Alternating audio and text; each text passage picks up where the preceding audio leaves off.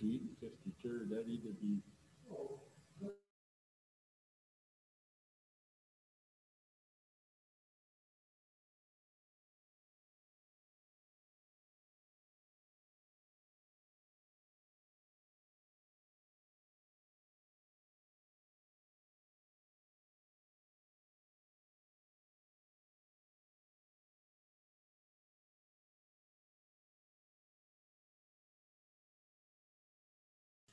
Development of fifty by fifty?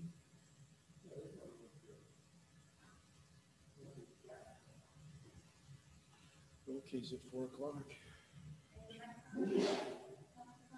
Yes. Good, uh, good evening, ladies and gentlemen. I'd like to start your cow meeting today. Do you have any corrections, additions? Whoa. For a hot day, we're sure gonna move. Wayne? I have two, please. Um, One is showcasing Wetaskiwin and area. And then, and then the other one is uh, hmm, uh, just a question on brand relaunch, or rebrand launch. There we go. Gabriella? Canada Day.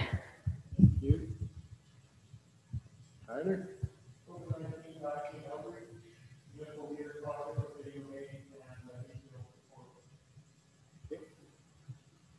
So we'll use that on two C, D, and E. Thank you. So we'll move on to Municipal Service Division.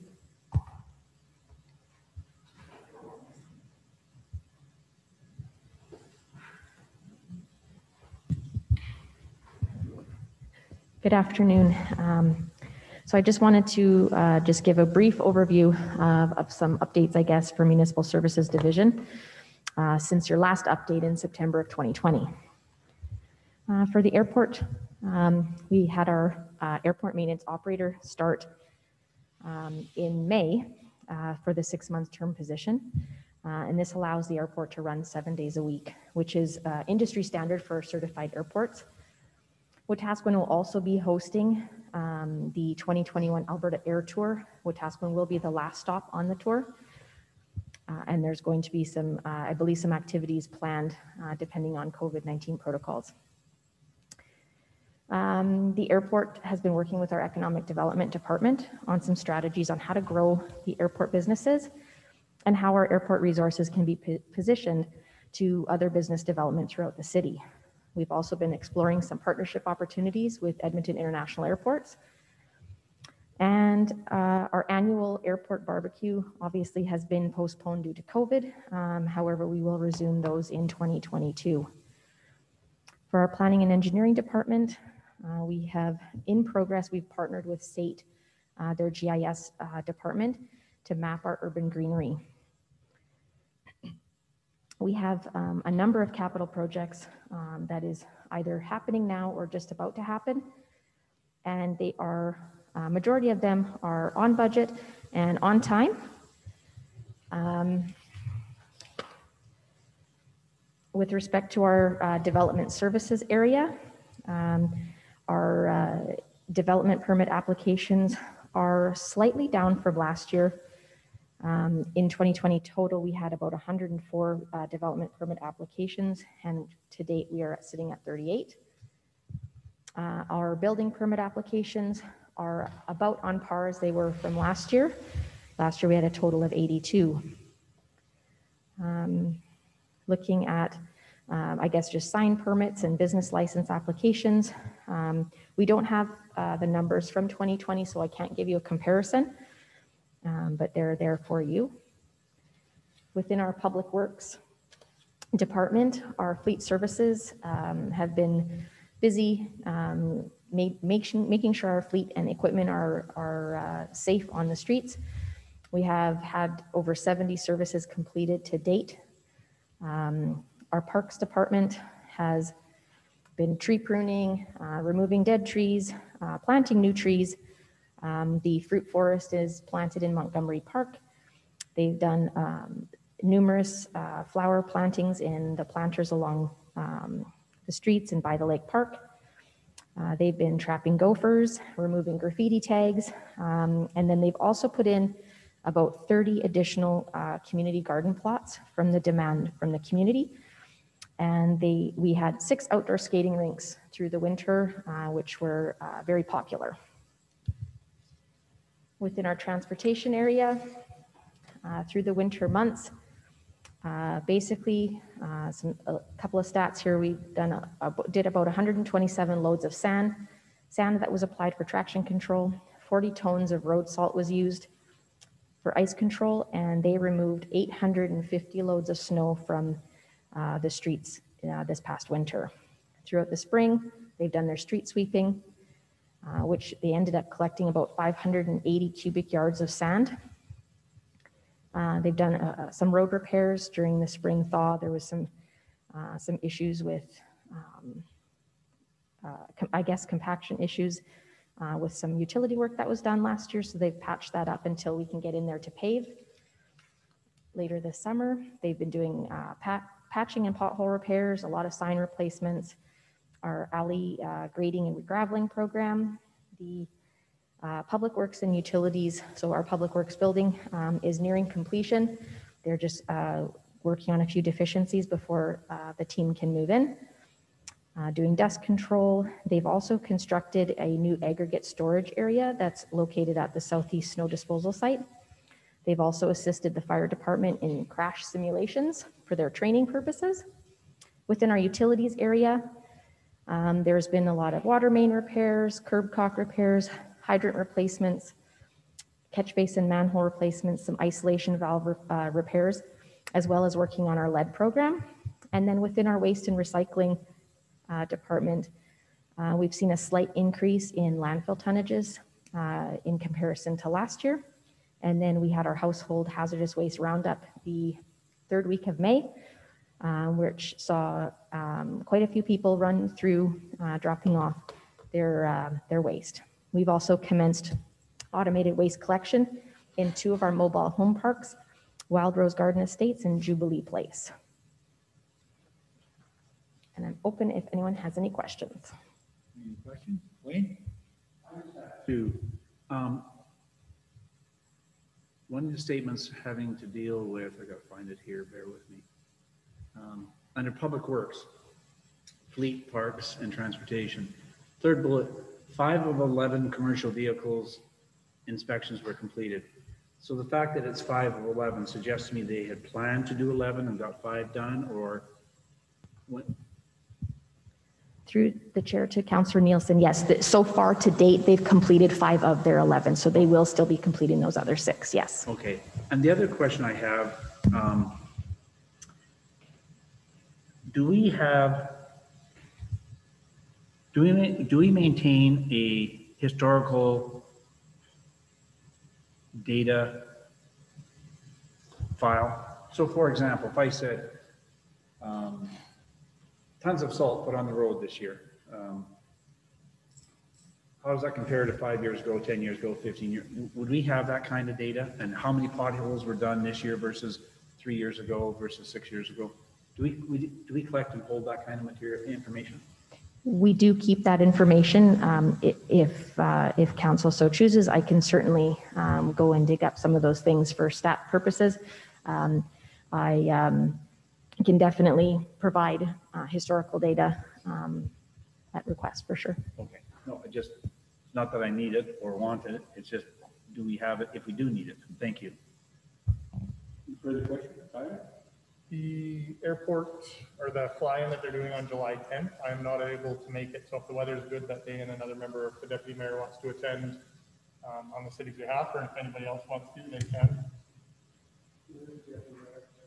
Uh, Councilor Bronco, are you still out for July, no? He's my last. Oh, it's your last one? But it's a free breakfast on my drug. For you, we'll buy you breakfast. I don't know who's deputy mayor in July. Councilor Black, so if you're available on July 10th, um, contact Candace Coughlin and she has some information on the fly-in and Kathy might as well. I have a few questions. One to my, my colleague regarding the, you were asking about the sand and salt, I think.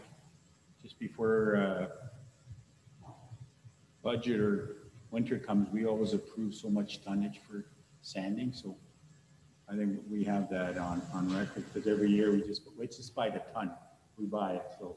uh, My other question is, at the landfill, when somebody brings in, let's say, topsoil, clay, or anything, I know, I know it's free, but it's weight, does that weight go against our total volume, what we're allowed? Or so let's say we bring hundred tons of topsoil or clay.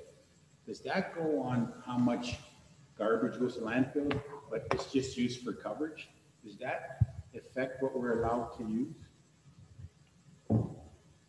The tonnages that are actually landfilled, those do not apply to that. If it is used as daily cover, um, it is not included in the tonnages. However, it will obviously impact the elevation of the landfill, right? Okay, so it's not included, say we're allowed twelve thousand tons a year, we bring in thousand tons of clay, so it doesn't affect that? No. Thank you. Okay. We'll move on to RCMP presentation. Uh, Good afternoon, committee. Um, um, We have a uh, present, a report and quarterly presentation to you today for Q1 2021 from Inspector Keith Durance. Uh, Just a reminder to the committee that council did approve uh, RCMP priorities on June 14th, and Keith has done his best to try to align uh, his presentation to those priorities. So I will hand the mic to him. Good afternoon, Council. Um, I have a couple of reports here I'm going to go over with you that were submitted earlier, one being the RCMP monthly policing report, municipal policing report. Um, I'll say uh, at the front end here, the first two pages are usually completed by our ops strategy branch, our stati- statisticians up in headquarters, in which with regards to staffing levels, uh, quarterly estimates on pay, overtime, and the budget. And then the last two pages are usually completed by myself with regards to the community uh, priorities and the results thereof. Because I was not going to be here next, uh, that next month at council to provide a full quarterly update as of the end of June, I took the opportunity now to come in and give you an update as far as I could on Q1. And I will have a full update for you on Q2, uh, which will have all these numbers uh, put in. What I do have for you is my, my best way to fill out most of this report. Um, A lot of the high, high titles and stuff, especially with regards to dates, I cannot, it's a uh, mandatory field that's locked out and I can't change the thing. So I will go through and I'll give you my best understanding of all the numbers that I have currently here. So under human resources, uh, the numbers there, we have uh, 31 established positions with 26 members working, three members on special leave, and one, should be say, should have one hard vacancy at this point in time. I will add to that, that as of uh, second week of July, we'll have two hard vacancies. However, by the end of July and the first week of August, we have three more members coming into the detachment. So those hard vacancies will be short-lived. Uh, Support staff uh, remaining relatively static, uh, 11.5 positions, so 10.5 working. We have one uh, employee away on mat leave, should be returning end of August. Uh, On your uh, municipal budget, financial O&M, I have the final, uh, if you want to pen these in for you, I got these this morning. Um, Overtime for P14, so this would be the end of the, our fiscal year at the end of March. So overtime, we were uh, down by 114,825. Operating and maintenance, we were up by 2,000. Corps commissionaires, uh, down by 14,524. uh, With an overall savings uh, from last year uh, to, to this, for, sorry, from 2020, 20 2019 to 2020 of 112,833. Where we saw the increases on the operating and maintenance side of things were with regards to vehicle repairs, which were close to 14,000, and fuel being at uh, over $5,300 from the year previously. Sorry for those quick numbers, but I just uh, wanted to get you at an end there. I'll have a Q, a strong Q2 for you uh, with where we're at at that point. Page two, it should say uh, April, May at the category at the top there. Uh, These numbers are, are up to the end of May. Uh, Persons crimes are up 57%, property crime down 14%, with overall criminal code down 38%. Uh, Of particular note on the persons crimes being up, this is in relation to assaults, uh, criminal harassment, and uttering threats being up significantly. Uh, And when checking the statistics on these, these are based on uh, an increase in domestic violence files by approximately 32%. Uh, Criminal code uh, overall up just 6%. And then the significant ones, other traffic down 80, uh, provincial traffic up 32 uh, from 497 to 654. That's being the provincial traffic unit being in the area, writing uh, additional tickets in the area. Uh, And then you'll see the remainder, uh, motor vehicle collisions uh, down 33%. So overall, April, May, over year to year from 20 to 21, a decrease in property crime by 14% was primarily driven by break and enters being down 24% from 82 to 62. Uh, Theft under uh, 5,000 being down 11% from 148 to 140. And theft of motor vehicle down 53% from 37 to 19 reported files. Page three is, is our priorities, and we've gone over these before. Uh, This page only has room for three priorities, but we have five, so I've put them in numerical order. Uh, So to uh, reduce and prevent property crime, uh, thus far, our priorities, our our initiatives under that priority are completing search warrant. We've done one of 12 so far. Uh, Intel meetings, we've done three of 12. Uh, And proactive drug enforcements, we've completed 10 investigations of the total 60 that we are ballparking for the year. Prolific offender management, uh, curfew checks, 45 of 600. We're a little short on that one there, and that is due to somewhat of a breakdown with regards to the analyst not being uh, in the detachment. We're going to be another couple months before we see that analyst position being filled. Um, So uh, what the analyst does is she does a complete review of all those uh, prolific offenders in our detachments as their conditions of their probation and other uh, court documents, and then updates the curfew checkbook, who, which then the members utilize to go and then do the curfew check. So there's just a little bit of uh, intel uh, grinding of information there that's kind of slowing things up a little bit. Uh, Warrant list, media outputs, three of 30. I'm working with our local media here and our local media rep at the detachment to try and do a weekly input into the local paper here moving forward, which should uh, significantly bump that up. Uh, Priority three, persons crimes. Um, And then you see the results on number three on the next piece down, bear spray bylaw. Uh, We're in the process with CPO Sergeant Trent uh, Yeager to uh, develop a, a bear spray bylaw for the city. Uh, We have a draft into legal to have a look at the wording of that particular bylaw, and that will be forthcoming to you guys in Q2.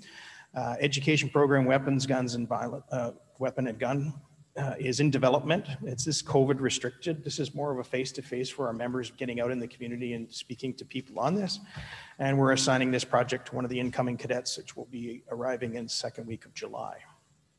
Number four is uh, reduce and prevent property crime, and one of the initiatives there is the pawn shop bylaw that we were discussing here just a couple weeks ago. Uh, Past third reading and uh, pending uh, pawn shop owners' uh, engagement. We're going to have to be in touch with them. Trent is working on this. Uh, And then getting the uh, agreed upon um, database and computers and that sort of stuff going and some training to those uh, shopkeepers. Uh, Community events, um, not a big one in the city here. We've completed one of our eight boat patrols, have two planned for June. Social media programming, uh, we have one of our members working on a Facebook site uh, with regards, and this is going to be launched in the midsummer, perhaps probably closer to the first part of September. Uh, They're go- undergoing some training on exactly how to run this Facebook site um, and keeping in line all of the rules with um, regards to bilingualism. And downtown foot patrols, uh, I have 38 of 250 here. The- That that number is actually at 54. Uh, And 38 of those have been done on the overtime budget and the remaining done off the watch on a regular patrol basis. Um, Last page is the community engagements. Uh, I won't bore you, you can read those ones on the number of dates. So we've had uh, uh, seven engagements over this last quarter with regards to community consultations and so on. Lastly is the secondary report with regards to the downtown patrols. That's this document here. So what I've done, uh, as indicated there in Q1, we've completed is uh, 54 downtown, uh, downtown patrols in the area, and we're begin keeping the statistics with reference to these foot patrols. Uh, These are self-explanatory. Business contacts would be the number of times that the member has contacted one of the business owners. And then subject contacts are the number of people that they're engaging with on the foot patrols. Total number of foot patrols, uh, vehicle patrols are also there. Those are mostly completed by either the members on the foot patrol if it's inclement, or if they're doing regular patrols uh, outside of their regular foot patrol on their shift. And also all the regular members keeping uh, the downtown area uh, in their mind when they're doing their patrols to and from the detachment. Total number of foot patrols are there, 187 thus far to, and that's in keeping with the number we've done in June so far of 11. Uh, Of that, 54 have been completed in Q1. Calls for service in and around the downtown core, you see the totals there at 237. Number of arrests, 103, and total charges, 76. The next table goes into the number of uh, calls for service just in relation to the 27, uh, 24/7 hub. Uh, And these, these numbers are self-explanatory with regards to the different types of offenses that we are dealing with there.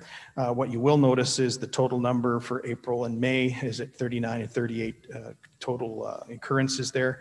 And these numbers are staying rather consistent. I suspect it's going to be up a little higher in June. It has been a little busier around the hub in the month of June. Uh, But again, I'll have those full numbers for you uh, on the next report. And lastly, on the last page, uh, other Q2s, curfew checks, uh, 45, street checks, 345, and check stops, four, and warrants executed being 60. Uh, That is a summary of my reports. I'm uh, able to answer any questions you may have with regards to these statistics. Any questions? Wayne and then Dee? Keith, when I do the, um, the chart on, um, downtown foot patrols, and, uh, it's, it's in the blue one there, and, uh, so calls for service over one, two, three, four, five months, two thirty-seven. Um, almost half, so forty some odd percent of those end up in a, an arrest. And so 103 arrests out of 237 calls. And then the charges being 76%. So of those arrests, they were significant enough to have charges filed. Is, is that a fair assumption?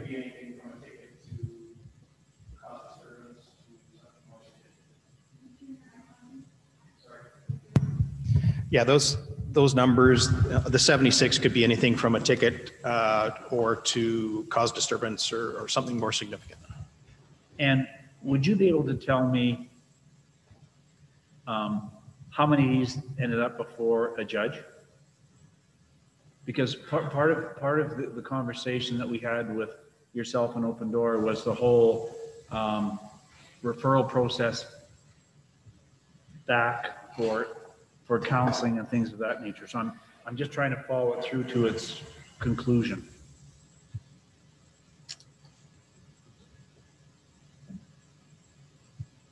And if you don't have it, that's fine. I don't have that um, number. Um, I'm just trying to think if maybe I could extrapolate it back from the other. If I was to add up all the number of charges in the other column here, seven, 10, 13 charges. um, No, I- Okay, I- it'd be too much of a random guess. okay. You can almost say that all 13 charges in, that were in relation to the hub are, are most likely going before a JP of some sort. 13 in June. Yeah, from May, April and May in the next column down, you add all the charges together, those would go specifically um, where we'd have something like a fail to comply, where you see across there, you have one in April, one in May, Total of two, two arrests, two charges, those definitely would be going before a JP, for example, right? That's where you see no, you don't see too much ambiguity there. It's, it's a straightforward breach is a straightforward criminal code charge, right? Okay, now you've lost me somewhere in this process. Sorry, No, so, Some- because when you're saying you see one and then you see another one in June, I don't know where you're seeing one. no, May. Sorry, so you, if you look at the second column down, these are all the charge occurrences and charges and arrests in relation to the hub itself. That's why I was trying to you're go back, to- talking- I was trying to take that number, take it up to the Okay, I 76 gotcha. and see if I I could gotcha. extrapolate back and it Yeah. wasn't quite working, so. Okay. I guess I was just, the reason I asked the question, I was wondering how successfully are, we are being with regard to taking it back through the court system and rather than, than jail time or fines Yeah, that don't I- get I- paid. I think a better way to, sub- uh, to, to update you on this would be our, our drug and mental health diversion program that we've established with the hub. And that's where we're arresting uh, someone who's a bit of a prolific offender and needs to be kind of forced into some sort of uh, compliance with regards to programming or counseling and that Right. sort of thing. What we've found is we've, we've charged 13 people thus far and put them into the program. But what we're finding is the, and I want to say this uh, politely as I can, the comprehension of the fate of the charges and that sort of stuff is being lost on the individual. And that in a lot of cases, um, the mental health is, is not where it needs to be in order for them to understand the pitfalls of where they're going. So we're actually, actually having to kind of pull back from that and re-look at it a little bit and, and again, kind of adjust our program accordingly. Instead of just firing these people right into the court system, um, we have to look at the mental health piece first. So is it a case of they come before the court two weeks down the road and we've got all the re- supporting report from the hub and from our file and everything else, but they perhaps need a 30-day uh, assessment? So we're trying to get that done on the front end rather than finding out halfway through the process. Does that explain where I'm going with that? Or did I lose you? No, no, to some degree, no, I get it. I guess the question that arises out of that for me is, so are we, are we not doing what we said we were going to do because of the, the lack of the connection between the crime and, the- and the, the direction? So I guess what I'm leading up to is, are you or Open Door, and this sounds inappropriate, I don't mean to sound that way, playing judge and jury, playing judge and jury, or in that they're not getting to the magistrate? No, they'll get to the magistrate. It's a case of, we may have to do some more proactive work with mental health prior to them getting to the magistrate so that they can have an under, better understanding of, you know, uh, the circumstances, what they found themselves in. So for example, then, you pick up a prolific Yep. offender, if I can use that term, and you recognize some significant mental health issues. Yep. And so rather than processing them through the court system, it would be, how do you, how do you mandate that, that extra mental health intervention? It's still within the judicial system. It's just before they start giving out sentences and before they start applying um, uh, counseling or treatment or something like that. It's just one step before, it's held in abeyance, it's brought before the judge. The judge would then order, say, a 30-day psychiatric assessment. Okay. Okay? I It's in the system. It's just a case, we're having to kind of rein the horse in just a little bit, saying, okay, we need to walk before we can jog, before we can run. Yeah. We have to put the walk step in first. Okay, I got it, thank you. Okay? Keith, um, verbally, you had said that you were down in your overtime costs this year, is that? Yep, everything is in the, is in the negative. So we had budgeted, um, extra overtime for foot patrols and things Right. like that. Does that work into that dollars, or is it dollars above that? It, it will come back as a credit to you, more or less, like, no, not, no, it won't come back as a credit. The bill will be there, but you saved it on, on last year's budget. You weren't billed a hundred and, or hundred and twelve thousand eight hundred and thirty-three in relation to the year before.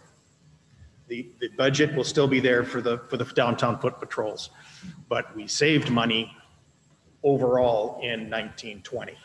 So we still will cut the extra check for the, I think it was forty-two thousand dollars or whatever we budgeted for. Right. So this year, if we continue to save on overtime with Yeah. added members to the str- but strength, we're going to save, save member uh, overtime on member hours because we have the extra members. That will result in a saving in the overtime budget, which ultimately would work out to be a push at the end of next fiscal year. It, so there's X number of dollars we pay for staff wages, and then there's overtime on top of that. Which is budgeted for, Sorry? which is budgeted for. Which is usually budgeted in, budgeted in by OSB will give you a, an overall, what you need to kind of put away to make sure that you get there, right? Right. By saving hundred and twelve thousand dollars off the overtime budget, that isn't compared to the year before that. And the year, and we saved on the year before that as well, right? So consequently, by looking at, keeping an eye on the bottom line, ensuring we have as member, many members on, on the road as we can, we're saving on the overall bill to the city in overtime. The budget, budget for this particular stuff on the thing will be there, we'll have to pay that, but I'm sure the savings will come back in the number of extra members we've applied to the road this year should have an, another resulting savings in overtime like we see here. I guess then my question is why then tho- those extra foot patrols wouldn't have just gone over there, then we wouldn't have had to cut that forty-two thousand dollar check. We could have done it that way, but then if we have four major events, at, say at the end of this last year, then all of a sudden you guys are getting a bill for two hundred fifty thousand dollars extra in overtime that you guys would not be aware of. At least now you know exactly what that amount of dollar, dollar value will be. And if I'm able to keep the pencil sharp for the rest of the year and keep as many chairs filled as I can, we should see that savings come back. Thank you.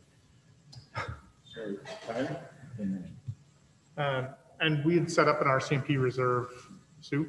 We'd set up an RCMP reserve, and part of what we're going to be using that for is the contract negotiations that are going on right now with the RCMP and the salaries going up, because those are going back to 2016, I think, in terms of contract, contract negotiations. So we'll have back pay going to members from 216, and we are using the RCMP reserve to cover those off. Because I'm unres- unrepresented, I can't comment on that. That's fine. That's for the NPF to say. Yep. no, But I that's- believe they're going back to 17, not 17? 16. Okay, perfect. Um, and with the stats that you have related to the hub, Yep. do you have, a- and I mean, it goes to, um, total criminal code calls for service as opposed to the specifics for the hub. Would you have a breakdown of how many assaults, how many breach of peace, um, those same stats citywide to compare what we're seeing from the hub or downtown? And if, if that's. I, I don't have that, but I can get it to you for the next quarter. Yeah. It- It's easy enough for me to just pull those out and I'll just minus them from the totals and I should be able to break that out for you. Okay, that would be fantastic. Um, and the subject contacts, is that member initiated? Like, member A sees somebody on the street, they go and initiate that contact? Or it's someone coming up to us talking about, or anyone that we might want to interact with during our foot patrol. Perfect. And we split out the ones where we actually go into a business and actually talk to a business person or Right. that sort of stuff. We split that up. That was it. Thanks.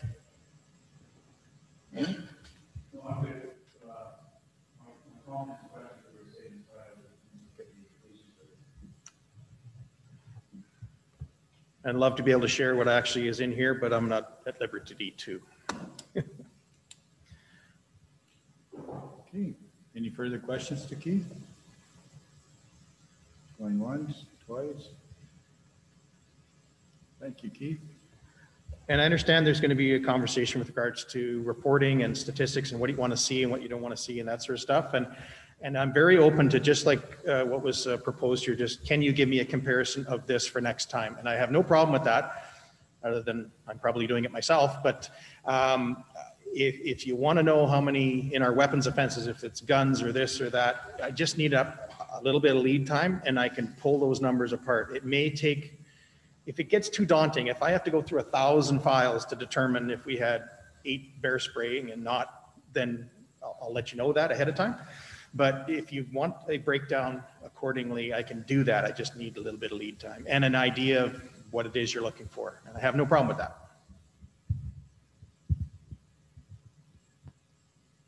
Okay, thank you.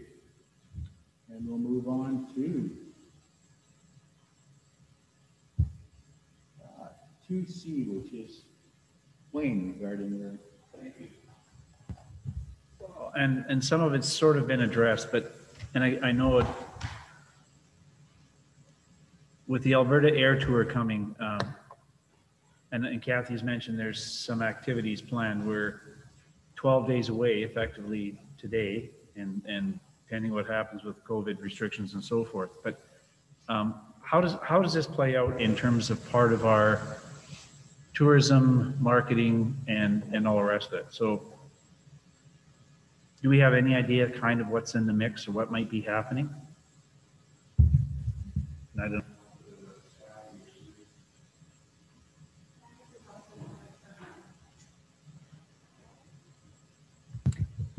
Uh, Through the chair to Councillor Nielsen, I obviously was away last week and I, I have not had time to catch up with the team on this right now.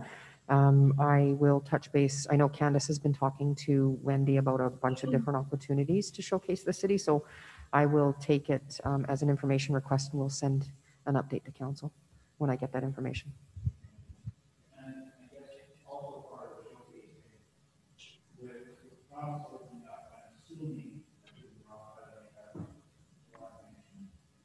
We can't hear. Please speak up, please. Candace? I'm sorry. Um, With, with everybody hoping to get back to some sense of normalcy, um, a year ago, maybe it was two years ago now, um, we made arrangements to um, create a transportation um, thing out to Maskwacis for, for powwow.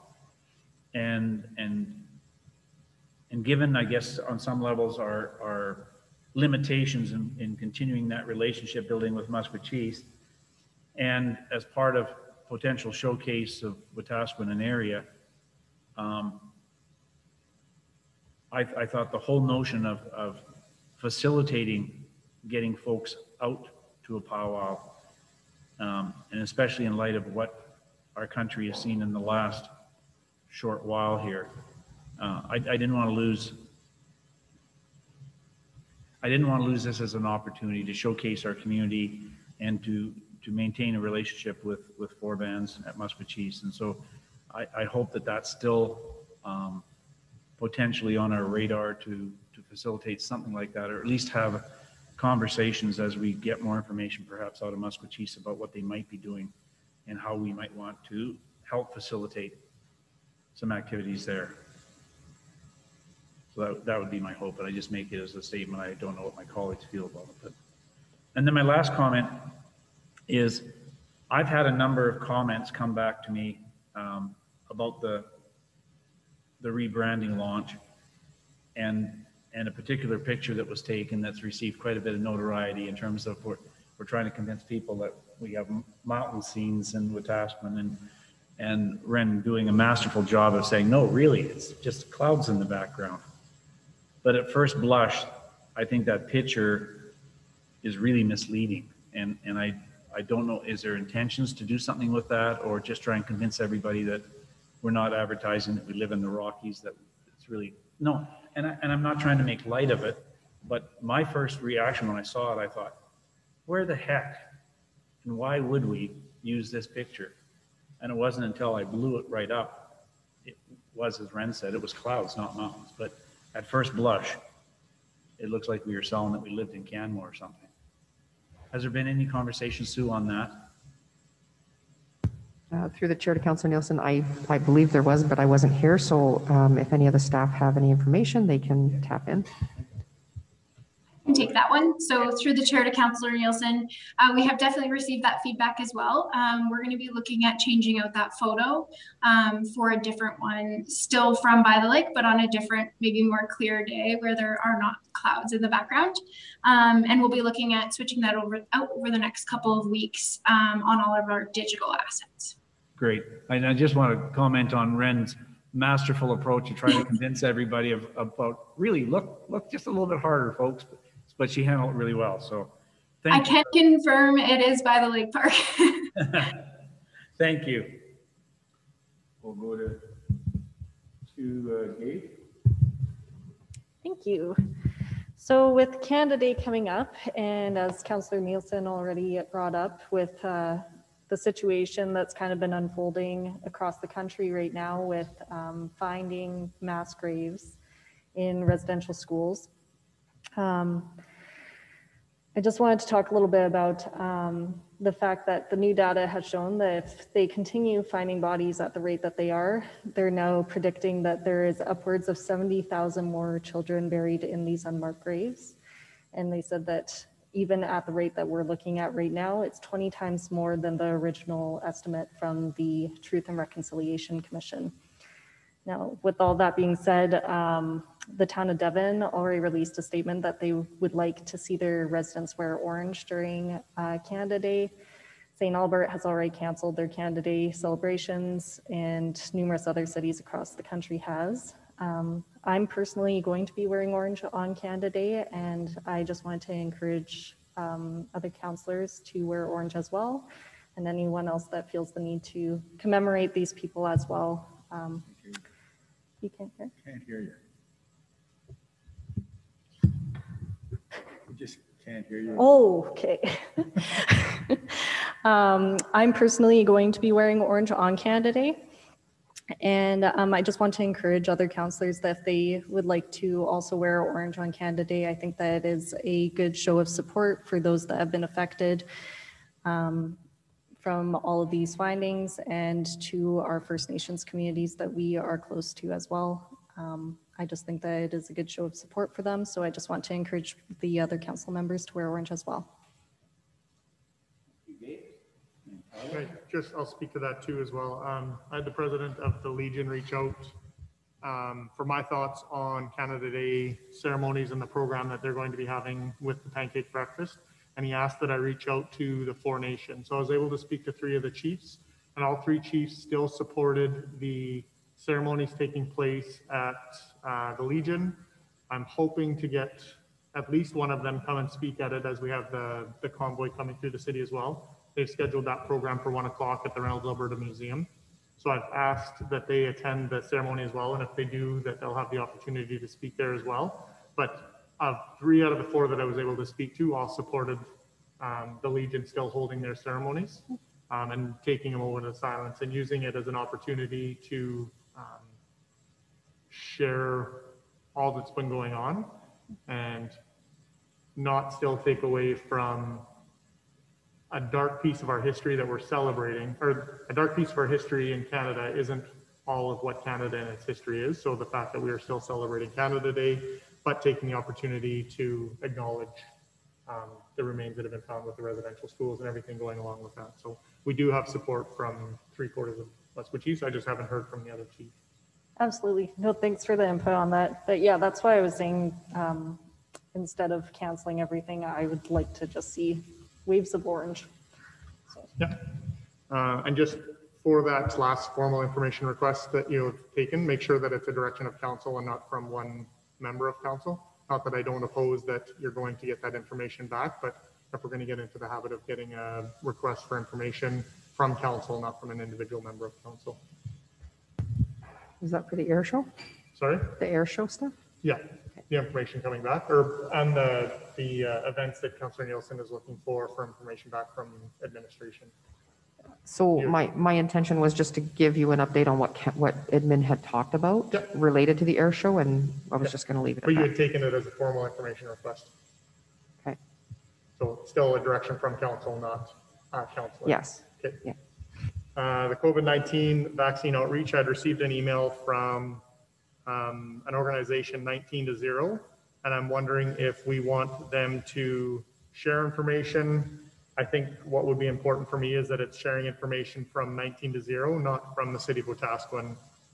So I just wanted to know if council supported that or not. I'd sent the email to you guys to see if um, that was something that you wanted to have done. They would do town hall style webinars, sharing handouts with clear and easy to understand vaccine information or other formats that we find suitable for our community.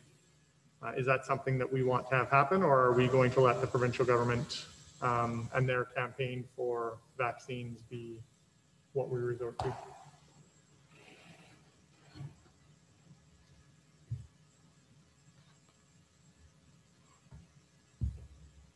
Wayne, and then Al.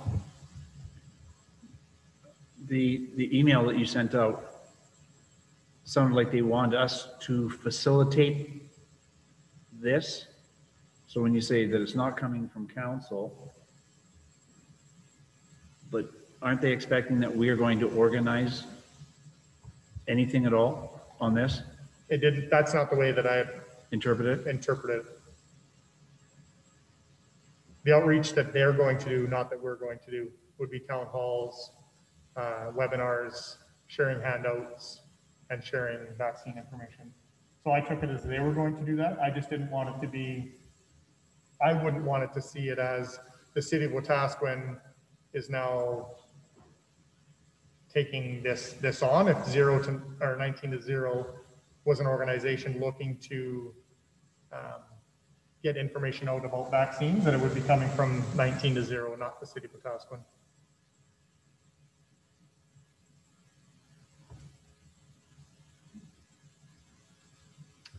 Al?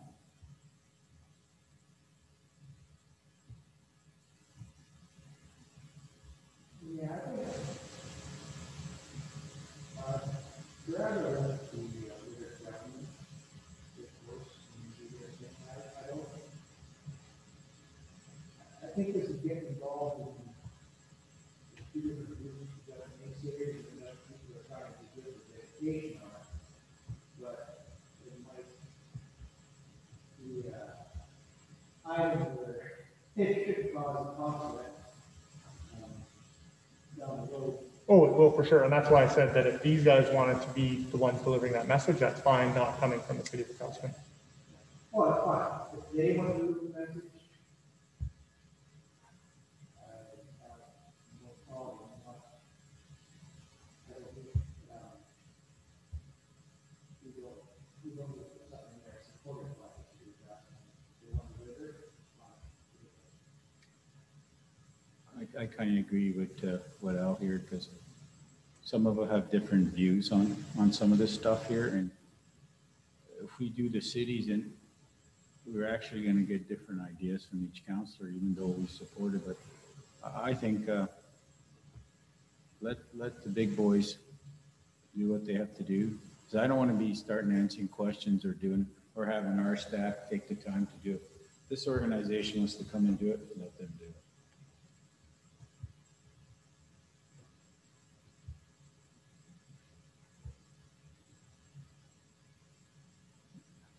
Dean?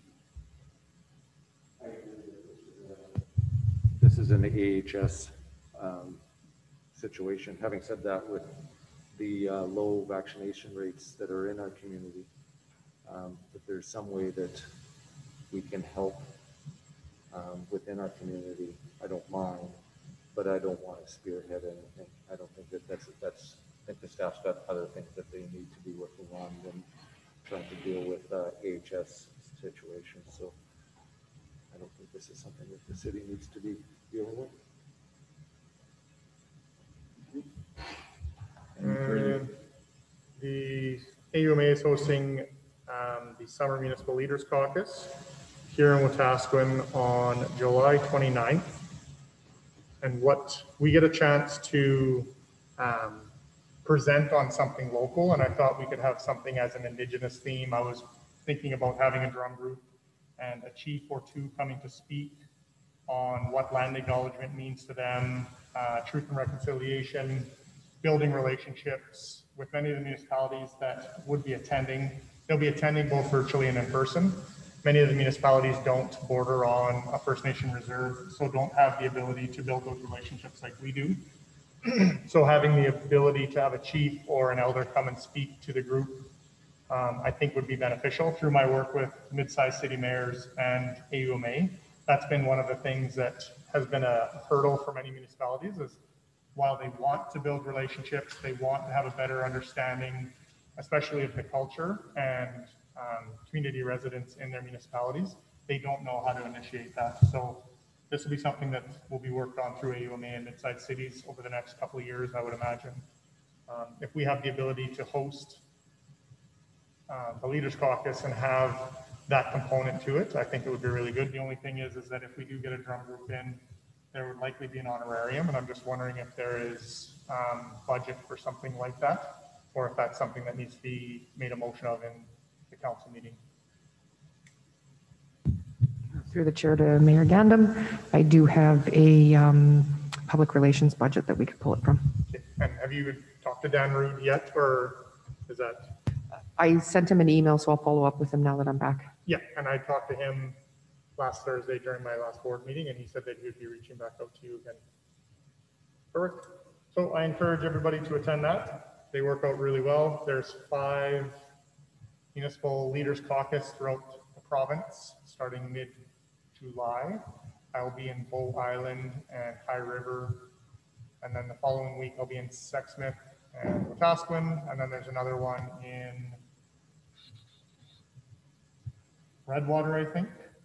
Um, all of them will have, other than the local presentation, all of them will have the same content. So I'll be presenting on behalf of the AUMA and then obviously um, presenting here in Wetaskiwin on behalf of the city as well as um, a board member there.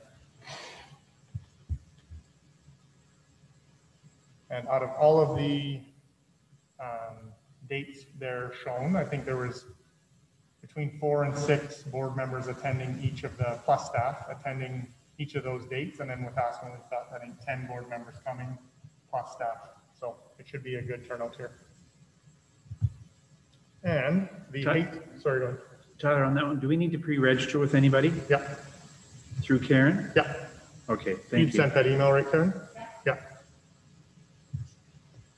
And the hate bill speech, sorry, did anybody else have anything else on? The, the topics for municipal leaders caucus hasn't been set yet. It will be right away. Um, the hate bill speech that I got from MP Doris, is that something that we want to attach our name to?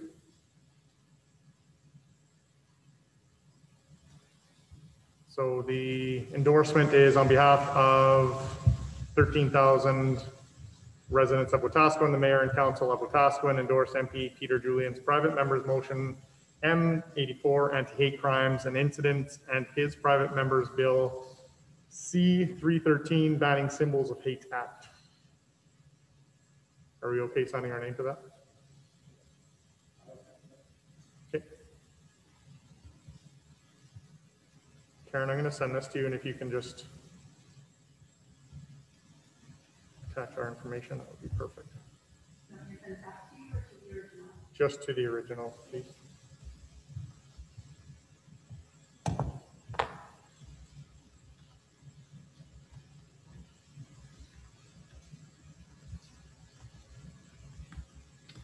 If anything other, we have no new additions, so into uh, three A, CO's update.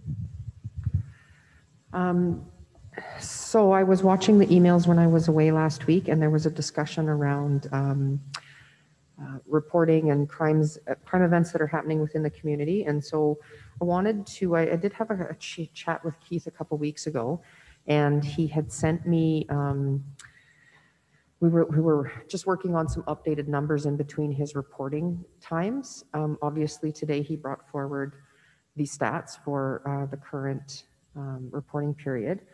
But if there's ever any questions in between, um, Keith has indicated he's more than willing to send those to me. So if you have specific questions, just let me know and I can forward those to Keith.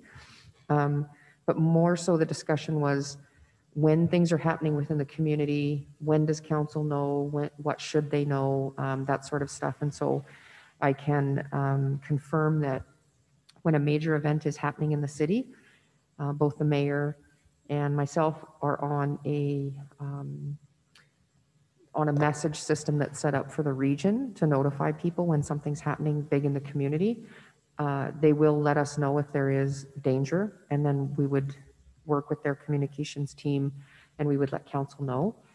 Outside of that, it's really just as information and let them do their job, and, and so that we can say, yeah, we know that road is blocked, you know, the police are there, let them handle it. So uh, based on the emails that I saw last week, I believe there was a desire to have a discussion around um, what should be reported when, what does council need to know when? And so um, Inspector Drance is also here to help with some of that.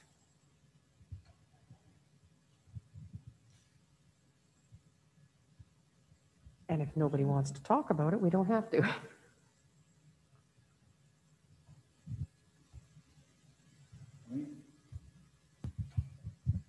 I guess my concern was that um, there were some happenings that were on the city facility, although the facility, the city facility was leased out to another uh, organization. And so that raised the question for me is that as the owner of the facility that something has happened in, should we be informed of that? In terms of, of, you know, we've had this conversation before and, and I- don't want to, it wouldn't be my intention to try and saddle Keith with copious paperwork because I'm sure he doesn't have enough of that already, but, um, so for me, it was just that it was on city, on a city, in a city facility or on city grounds. Um, and I guess for me is that if there was a, a situation that was pretty violent, and I don't even know when I use the word pretty violent, what, what qualifiers are attached to that. Um, But when there was an incident, I think in front of RBC with a machete, for example, I mean, whether that's accurate or not is a whole nother story. Um, But that's what I was hearing, and I had, I had zero response to that. I had no idea. And not, and maybe I don't need to have an idea. Maybe I should be like every citizen that says, I have no idea what's happened with that. But my biggest concern was it being on our, in our facility. Uh, Through the chair to Councillor Nielsen, I, I mean, to me, I don't look at that facility any different than the pool. If a, if an assault happens at the pool, we don't get notified. Um, Unless there is a reason to protect the public, protect city staff. If city staff were involved, we would get notified through our internal process. Um, But if the expectation, you know, is that we're more aware of what's happening, then we can work with Keith to see what that would look like. But um, I think that's a lot of, a lot of extra work where there's nothing we can do, right? So knowing, knowing that something is happening major is good, but all of the other crimes, I mean, there's a lot that happen in a month, right?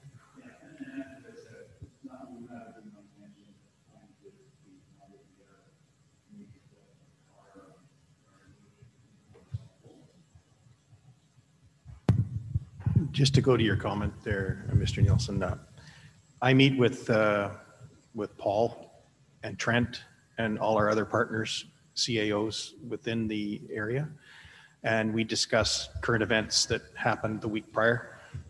Um, And if there's something significant that's happening around uh, the hub, for example, or whatever, that's going to make a big splash in the media or something like that, I'm usually in, looped in that tripartite group there, uh, being uh, the CAO, uh, Paul, and the mayor. And I usually give them a little bit of a, I can't give much information because it's an ongoing investigation, but I usually turn the tap off of, you know, we're, we're not on a manhunt here, it's, it's managed, right? If it's going to be something significant, then we usually have something in the press shortly thereafter, the next day, or within the next couple of days, which then informs everybody of which, but I would just, caution co- council not to listen too much of what goes off on the rant and rave and that sort of stuff because it is completely inaccurate. If there is something that is developed that you're hearing about, if you get it back to Sue or Paul or, or the mayor, and he wants to shoot me a message to say, uh, this is what we're hearing, can you let me know what's happening? I can set the record straight that way. Uh, So if you have a question, just shoot it over to one of the three, and they'll get it to me and I can find out what's happening. Just one of the two, myself or Sue.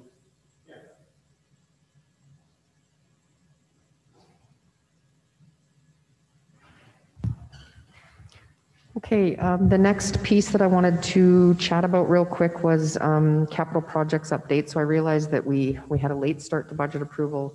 We were a little bit late getting a few projects out. We're anticipating to bring a full capital um, update to the next council meeting. Um, But I just wanted to kind of give you the heads up that there are some that we're having some challenges with, whether they came in over budget um, or we need to do a little bit more design work and, and um, rejig the project schedules and stuff like that. So we'll be bringing that forward. But if you had any specific questions, we'd be happy to answer them today if we could. Otherwise, they'll be at the next council meeting.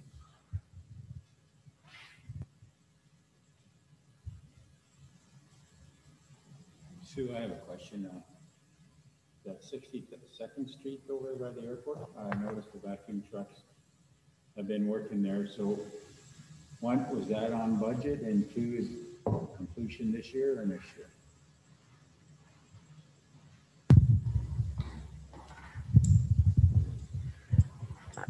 So the 62nd Street project, um, the tender was awarded and construction will be starting in the next couple of weeks. Um, It is, it did come in um, on budget uh, through the tender, and it should be completed by the end of construction season in 2021. Who is the contractor? Just one second. UH? I saw UH trucks there, one with vacuum. I can answer that. Yeah, it's New Edge through the mayor.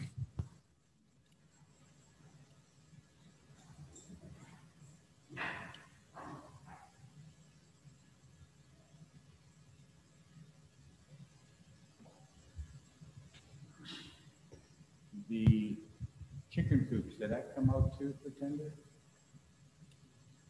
Which avenue is that? Didn't hear that? Which avenue is that? 55? Behind Gabe's Park. Where you planted the trees. Yeah, I'm, I'm not sure. We'll have to, um, do you know if the utility 51st tender went out? Street. Yeah, well, Fifty-first Street? yeah, I think it is 55F. Um, we'll have to look, we'll have a, a, a more substantial update at the next council meeting, but, um, a lot of the tenders either have closed already or are set to close right away. Any further questions? If not, we'll move into closed session. I need a motion to go into camera. Al?